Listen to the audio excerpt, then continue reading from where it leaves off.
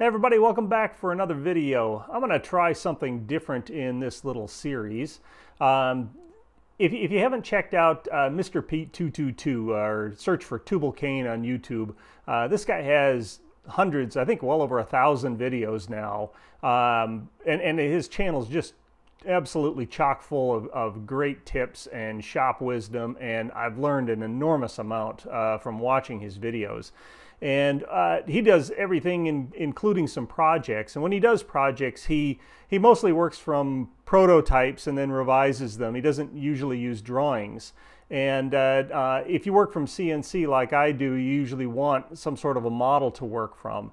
Uh, but his projects are, are simple enough and, and straightforward enough that they actually make really good modeling uh, examples as well. So uh, I happen to have the same kind of lathe that he has. It's a uh, Atlas Craftsman lathe, and I didn't have the uh, the carriage stop for it. And he did that project about a year ago, and uh, I thought it would make a really good modeling example. So uh, in the next two videos, and I'm going to keep these really short, I'm going to do a, a run through of modeling uh, this project from start to finish. Th this isn't meant to be an educational tutorial on how to use part design.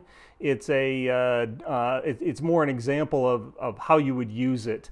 Um, you can slow down and go through things, but if you, need more in-depth uh, explanation of specific uh, modeling techniques or uh, part design tools, then uh, please leave a comment below uh, and, and I can look at doing some tutorials around that. Uh, you could also check out the, the book, FreeCAD for Inventors, and uh, you might find something in there useful. And anyway, let's get on with it. Here you go. Before we get started, we're going to set up the project and add body objects for each of the five parts that are in here. I'm going to create uh, uh, five of these and then I'm going to rename them so that we can kind of keep them straight. Now it isn't strictly necessary to do this when you're modeling. In fact, if I was working on my own, I wouldn't. I would create the bodies as I need them. But for the purposes of recording a video, it, it's better if I have all the bodies created ahead of time. It gives me a little flexibility in editing so that I can uh, do things in a different order so that it's a little bit clearer when the final video comes out.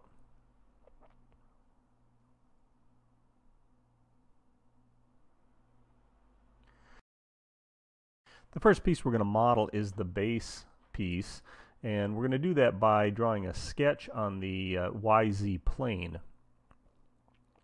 That makes sense to think about what feature you want to uh, kind of base everything around and in this case the important feature is that central bore. And it has a, a, uh, a diameter of 29 64ths uh, and that'll be uh, tapped uh, in the final final build uh, I'm going to set the center of it on the origin and then set the diameter constraint. And then I'm going to go back and use the polyline tool and just roughly draw the uh, perimeter. Um, we're looking at the part from the side here. And then I can set uh, a number of uh, linear constraints for the, the size. So the overall length of this thing is 2 inches. And the height is, um, is 1 inch. So we'll set a, a height constraint on that, that side. Now I'll, I'll add constraints for the cutout, which is 3 eighths of an inch high and a half inch uh, deep or, or long, I guess.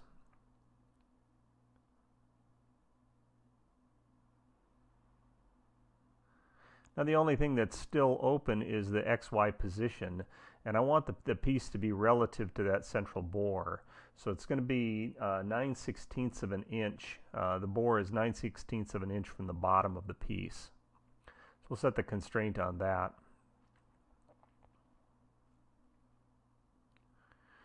And then the distance is uh, actually 1 and 9 sixteenths inch from, from the edge. And uh, it, it's always confusing to me how to enter like a mixed fraction here, and I, I think you need to.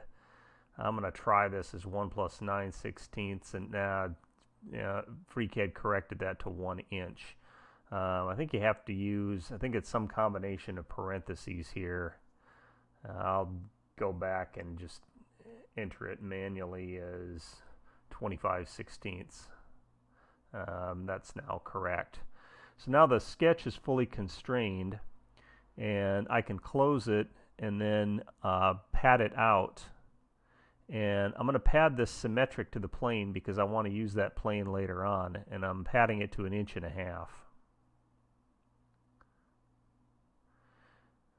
Okay, the next thing that I need to do is draw another sketch on the top, and uh, uh, we're gonna we're gonna sketch the the cutout uh, as well as the two holes.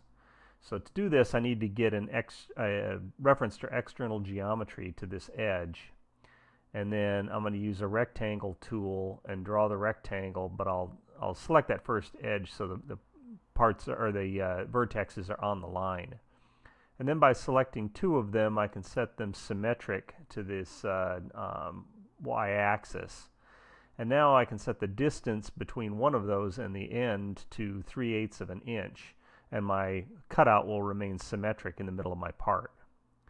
Uh, the next dimension is the, uh, um, the depth of the, the cut, or the length of the cut, I guess.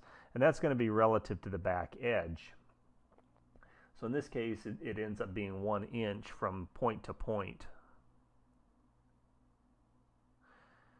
Okay, uh, I forgot I need to put the holes in here too.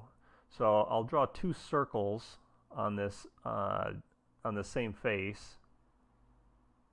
These are for the two bolt holes. And then I'll set those the center points of those as symmetric around this axis and I'll set the two circles equal to each other. And I just need to set a uh, diameter constraint on one of these. And these are 21 64ths. Okay, now the only thing that's still unconstrained here is the distance between the two. And we'll set that with a uh, uh, length constraint, and it is 7 eighths of an inch.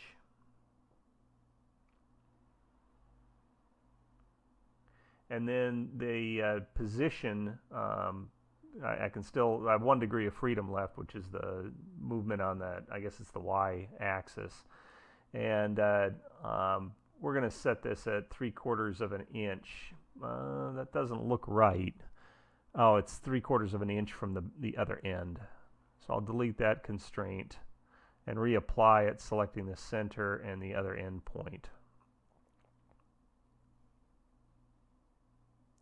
Okay, that looks correct. Now I can close that and pocket it, and I'll pocket through all and say OK. And now that my part looks uh, looks correct. The only feature that's remaining is the uh, the hole for the set screw. And that's on one of the two legs on here. I need to make sure that I'm sketching on the right the right leg, which is I guess is the left leg as I'm looking at it and I'm going to draw the circle and make sure that it the point is on the line for that uh, x-axis set the diameter constraint and this one can either be a, a 1 8 inch um, roll pin or it can be tapped to uh, 1024 uh, I don't know what the diameter is on that. So I'm going to set this as 1 8 of an inch because everything's parametric. It's very easy to go back and resolve after the fact. I need an external or reference to external geometry so I can set the distance here. And uh, for something like this, what you can do is select the line and the point and then use a linear uh, distance constraint, which is this double-headed arrow. And that will uh, set the distance from the center of the circle to the line at uh, 3 16ths of an inch. You see that puts it right in the center of that leg. Now I can pocket through, and in this case I'm going to pocket to first and that lets the hole go all the way through the wall without going any farther and gouging onto the backside. Okay, I think that our uh, base object is done, so we'll turn our attention to the clamp. So I'll toggle the active body for the clamp, and I'm going to set a, um, this is a shape binder object because I want to use those holes and I want to use some of the other attributes of this face in controlling my clamp object. So I'm going to draw another sketch. This one's also going to be on the YZ plane.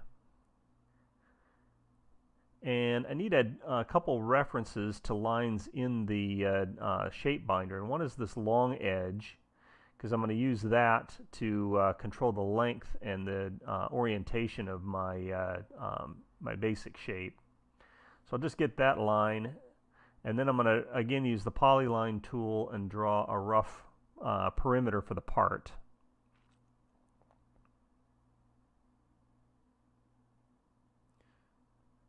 The part that he's modeled uh, um, can be used in one of two configurations depending on the thickness of the the lathe um, the lathe ways. Uh, if it's 3 eighths of an inch, you use it in this orientation, and if you have the half inch uh, ways, you flip it over and use it the other way. So uh, in this case, I need the, uh, um, I'm going to set that point on line, and that will keep the uh, um, my part directly aligned above the other one. And then I'll set the thickness on this to a uh, quarter of an inch. And I also set that equality constraint between my bottom line and that long line in the shape binder. So my, my piece is uh, the same length as the part, two inches. And uh, we've got um, 3 eighths of an inch on this end. And now I just need to set the, the length of this, uh, of the, the cutout and that's an inch and 5 eighths.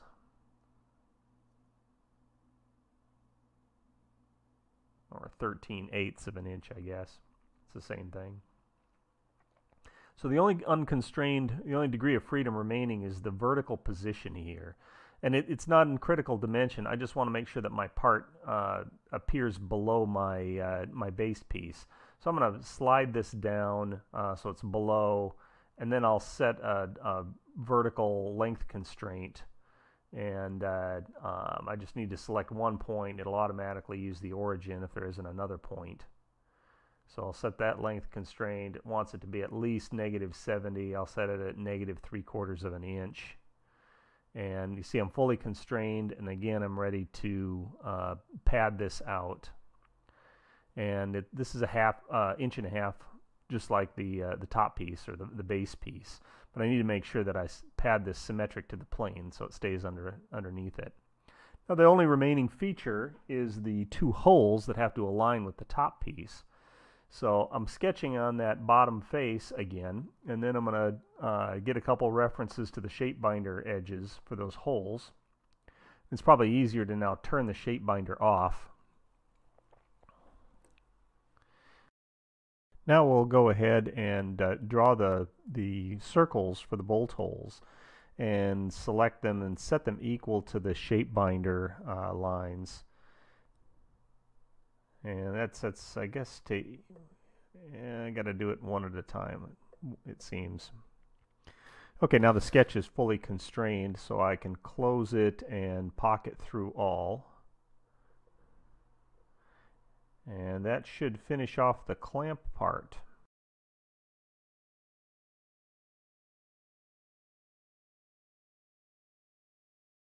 The dial. Um, there's probably a half a dozen different ways to to do the dial and I'm going to do something that's a little bit unusual in here you wouldn't expect. I mean I could do this with just a, an additive cylinder. Um, I could do it by sketching a cylinder on the YZ plane. But instead, I'm going to use a revolve, and uh, and I'll explain why. The as I draw this thing, I'm going to use the polyline tool again, and I'm going to draw the the top edge, but I'm going to draw it as two segments that are are, are actually uh, collinear, and uh, and then the the uh, um, the, the bottom edge of this, which is going to be the inside of the bore, is one line.